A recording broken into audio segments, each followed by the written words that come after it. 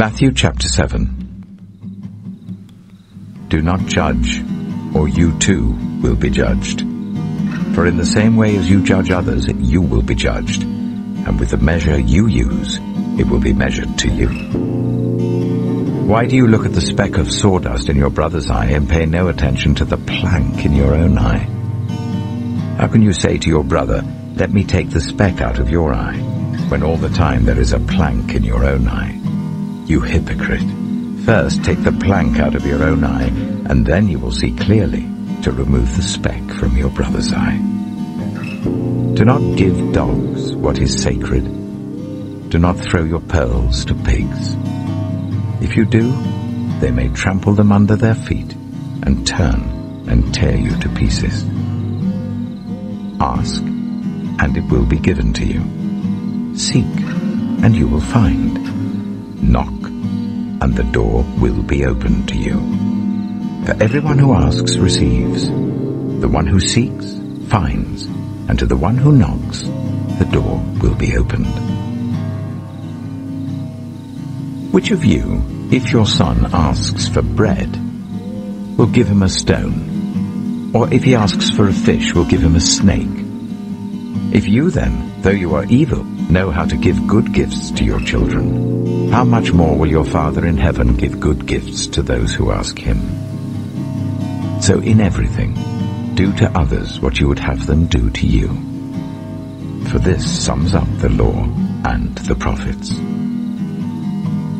Enter through the narrow gate, for wide is the gate and broad is the road that leads to destruction, and many enter through it. But small is the gate and narrow the road that leads to life, and only a few find it. Watch out for false prophets.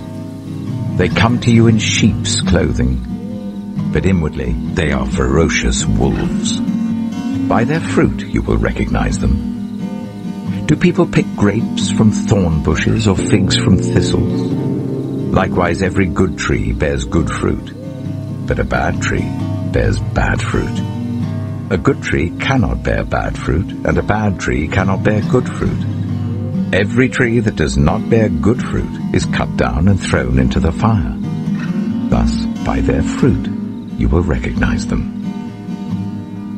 Not everyone who says to me, Lord, Lord, will enter the kingdom of heaven, but only the one who does the will of my Father who is in heaven. Many will say to me on that day, Lord, Lord, did we not prophesy in your name, and in your name drive out demons, and in your name perform many miracles? Then I will tell them plainly, I never knew you. Away from me, you evildoers. Therefore, everyone who hears these words of mine and puts them into practice is like a wise man who built his house on the rock.